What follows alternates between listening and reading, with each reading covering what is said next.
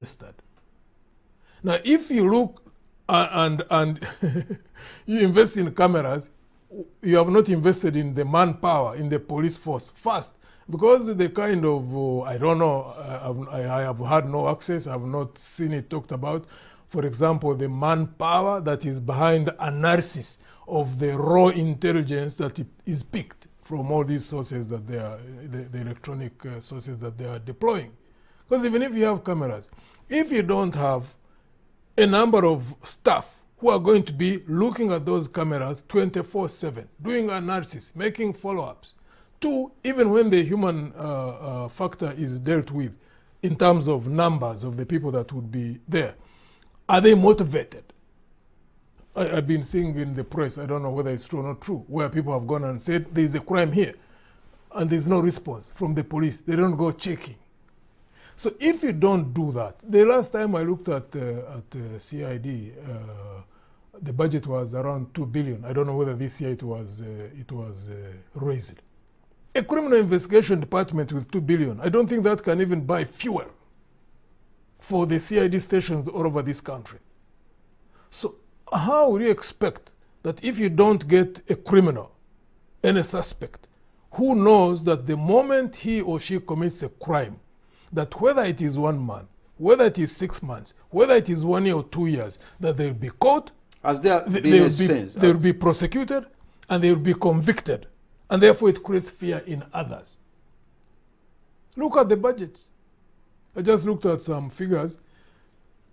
Ju- The judicial, the judiciary this year has 250, no, no, I mean 151.2 billion, the budget of the whole of uh, judiciary.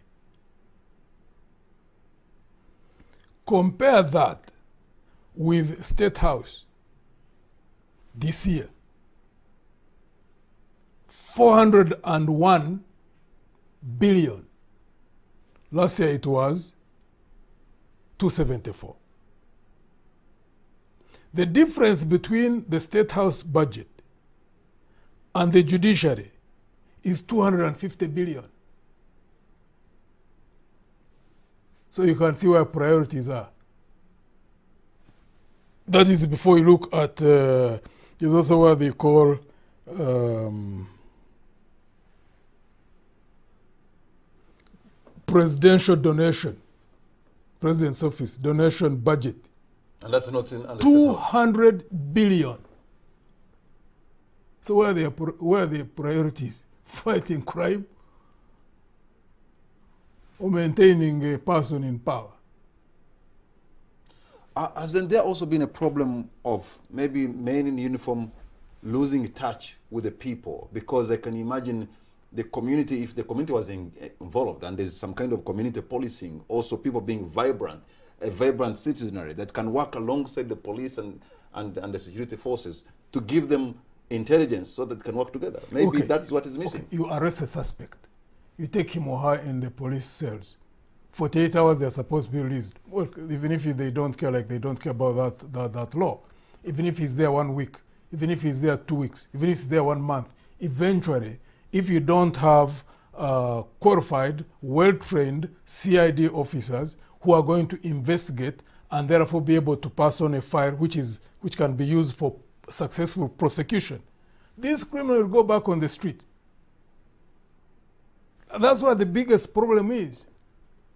The judiciary required uh, money to, to, to, ext- to expand their staff. I think they required 100 more uh, uh, staff, you know, judges, magistrates. They didn't get that. They had, uh, of the 151 billion, 34 billion is for wages. 12 billion is in arrears that are not yet paid, fully paid. but there's 200 billion for donations by the president. The priorities are upside down. this money is also uh, appropriated and allocated by parliament. Yeah, the majority of them are in the ruling party.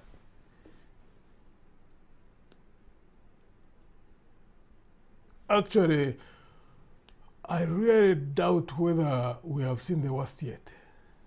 unfortunately. That's so scary.